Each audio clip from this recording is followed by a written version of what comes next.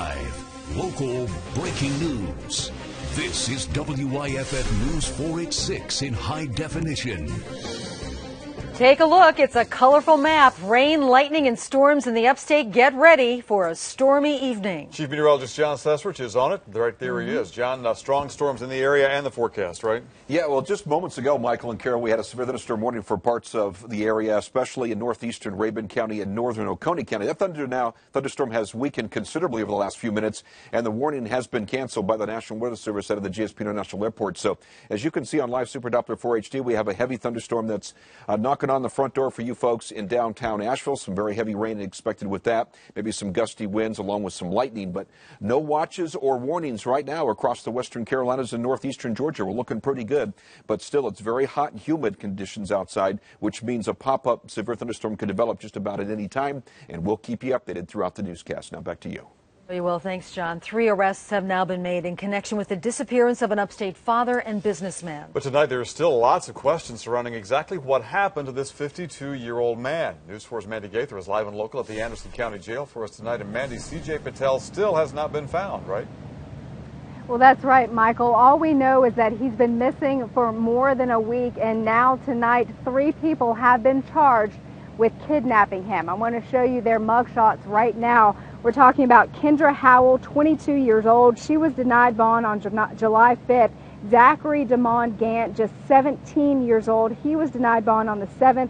And the latest suspect, we just got his mugshot into the newsroom, Jeremiah Christian Johnson. He too was charged with kidnapping CJ Patel. Now, the 52 year old father and manager of the Exxon gas station on Clemson Boulevard was last seen Sunday, July 1st. He told a clerk he would be back in a couple of hours, and no one ever saw him again. Family members tell me a break in the case came when the owner of a home that Howell rents spotted Patel on surveillance video at that home.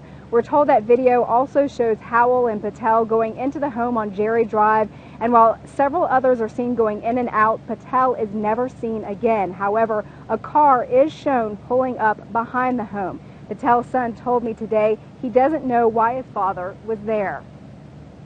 He don't make enemies, he makes friends. And knowing after this, it's just too scary that, you know, it, what went wrong with him, you know, just don't know. Now, Patel's car was found uh, in Fairplay. It was abandoned two days after he went missing. I'm continuing to work on this story, and I'll have more for you tonight at 11. Mandy Gaither, WYFF News 4, live in Anderson County. See you then, Mandy. Thank you for that. Anderson County investigators tonight are also working on a home invasion that turned deadly for the intruder, at least one of them. Investigators say 17-year-old Imani Puckett was shot three times after she and two men barged into a home on Burris Street. This happened around 11 o'clock Sunday night. According to the homeowner here, three people knocked on his door, and when he opened it, they forced their way inside. That homeowner said the men forced him and his girlfriend onto the kitchen floor and then hit him in the head with a pistol. When the two male intruders left the kitchen, we're told, Puckett continued to hold the couple at gunpoint.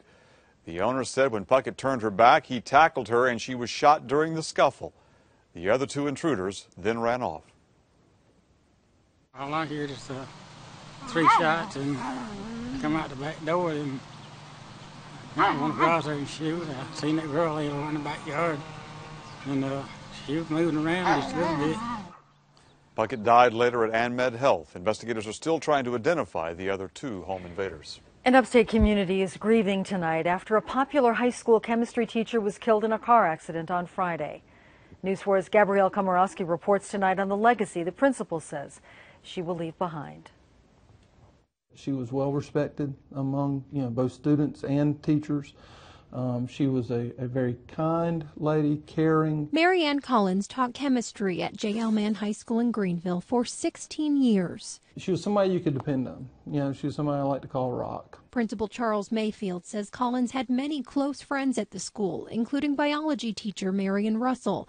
The two spent the July 4th holiday in Hilton Head, along with Francis Dunian of Columbia. The Jasper County coroner says the women were traveling home from Hilton Head on Interstate 95 when the driver of the car swerved to avoid debris in the road and the car hit a tree. Marion Russell suffered serious injuries. Marianne Collins and Francis Dunian, who was driving, were both killed. It's a terrible loss for J.L. Mann and his, and his, you know, it's a greater loss for a family, but it's a loss for our students as well. A role model now gone, but not forgotten. She was just a pleasure to know. She was just a uh, a wonderful person, you know, and, and her hopefully her legacy will live on here at Mann. Gabrielle Komorowski, WYFF News 4, Greenville.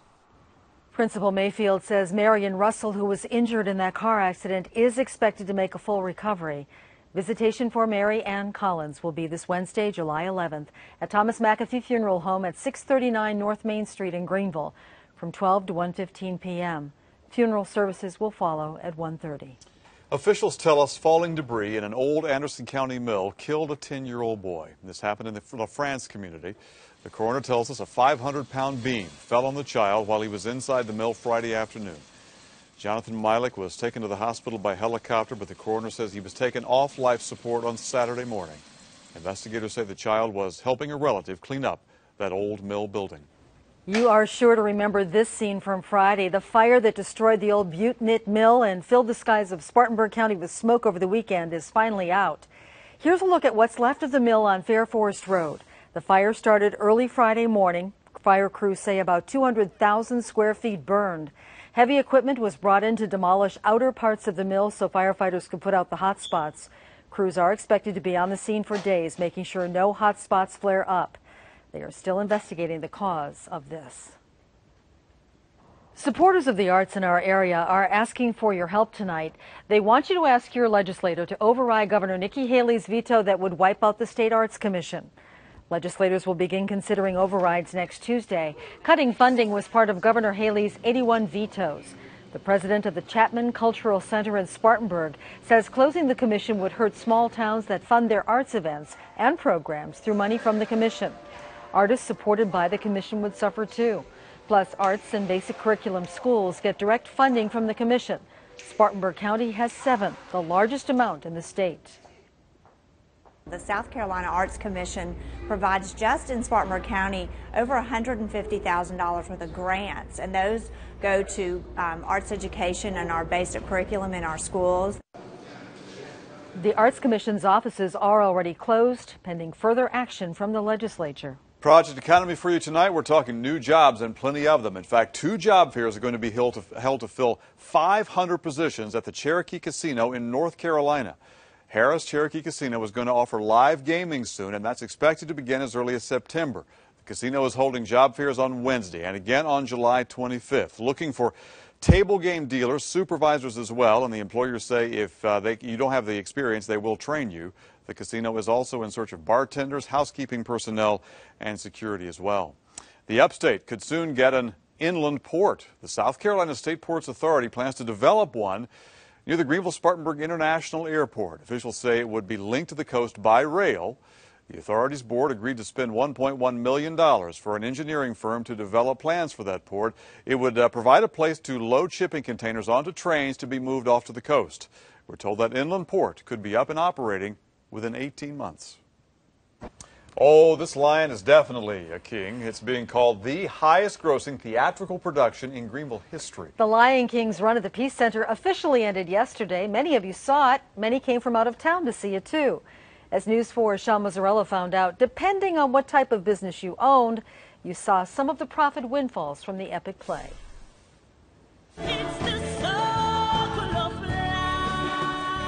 They came in droves. The Peace Center estimates 65,000 people watched The Lion King on stage. Not everybody who wanted to see got one, though. Rob Starr and his family were out of luck when they tried to buy tickets to the final shows this past weekend. Disappointed? A little bit, yeah. Our six year old girl would have liked to have seen it. The big show delivered big money. Officials say ticket sales hit $5.5 million. Outside the Peace Center, though, that statement gets mixed reviews. The impact wasn't as great as what we had hoped for it to be. Beth Harris is with the Courtyard Greenville downtown. The hotel is right next to the Peace Center. She says weekend bookings did not jump significantly during the show's run. On top of that, it's generally hard to tell if people were in town specifically for the play if they did not offer up that information, which is why they're banking on the exposure it brought them. When they come back, they're hopefully they'll definitely choose to stay with us. Liz Daly's experience was quite different. She says her working jewelry studio was packed with people because of what was going on across the street. We've had to have a, a few extra staff members especially the times right before the show and right after the show. For restaurants, it depended. Lion King was a children's show, and fine dining wasn't always on top of mind. More casual dining places hit big, though, some having record weeks of sales. All in all, the play ends up being a cash king for the town and those who enjoyed the show. Sean Mazzarello, WYFF News 4, Greenville. Now, the Peace Center plans to release more on the economic impact of The Lion King on Greenville tomorrow. They say they plan to release the number of sold out performances they had and more specifics on ticket sales. It's a fairly well known piece of property in northern Greenville County, and now George and Rich Hincapie own the place. We've always wanted a destination for high end athletes, cyclists, triathletes, mountain bikers, runners, um, a place to go to to train. Look familiar? That's La Bastide, and it's about to be transformed into a training destination for athletes from around the world. Tonight, new at 11, Rich Hincapie tells Nigel Robertson what he and his brother plan for this piece of property. Now, your live Super Doppler 4 HD weather forecast.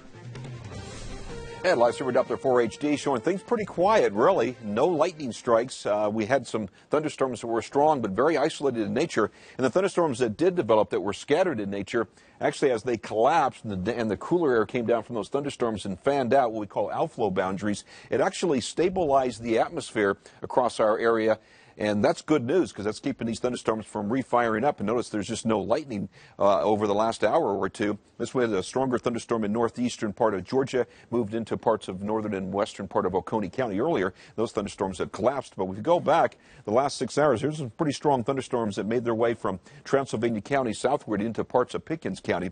And we'll talk more about those in just a, in a second. In fact, I'm going to go ahead and talk about the storm reports right now. A lot of wind damage in and around, especially south of Charlotte, from some nasty thunderstorms about an hour ago. And then we've had a couple of reports. We'll go ahead and go through them. One for you folks in Rosman. You had an almost one inch diameter hail in Transylvania County from this thunderstorm, and then it slid across the border into parts of Pickens County, and we had a couple of trees knocked over uh, in nine times in Pickens County. Uh, you had a pretty good thunderstorm there. 96 was the official high today at the GSP International Airport, at least so far, and that's six degrees above the average for this time of the year, and just missed the all-time record by only four degrees. 100 degrees set back in that hot summer of 1993 is the record high on this date. For the mountains, so far the high 87 degrees, low this morning 68, very humid conditions. Record high on this date 93 degrees set back in 1986. Outside right now in downtown Greenville, currently 88 degrees, a northerly wind at 9 miles per hour, so behind that uh, outflow boundary that came through where winds shifted from south to north. It's not dropping the humidity levels, but it's stabilized our atmosphere a little bit. 53% humidity. Also in Spartanburg, 53% humidity. No wind over the last few minutes. Currently 88 degrees. In Anderson right now, it's 92. It's a very hot. North northeast wind at 8 miles per hour. Humidity at 44%. And in Asheville right now, uh, variable clouds currently 80. North wind at 8 miles per hour, relative humidity currently at 64%. So still hot conditions outside of the mountains. 94 in Greenwood, 87 in Laurens, 88 in Spartanburg, 91 currently in Gainesville. It's 100 degrees right now in Columbia. Just an hour ago, there were 103 degrees. So we're taking this heat and we're pushing it farther south as this cold front slowly comes in from the north. And we have watch boxes off to our north. Northern mountains of North Carolina, you still remain, you folks in Boone, of severe storm watch until 9 o'clock. That's this box. And then from Raleigh down to just north of Wilmington, this box remains until 10 o'clock uh, this evening. Those are the only watch boxes in the lower 48, as you can see. Big thunderstorms moving through eastern Texas around Houston right now. Some very heavy rain there, but nothing severe. All the heat continues to build off to the desert southwest. 111 right now in Phoenix, but that's typical for this time of the year. So tonight, just an isolated shower or strong thunderstorm still around, especially this evening, and then isolated to scattered thunderstorms developing tomorrow afternoon. One more really hot day and humid day, high temperature around 90. In the mountains, a good chance of scattered showers and heavy thunderstorms, especially in the afternoon. High temperature 82. Front should settle right on top of us, if not just to our south.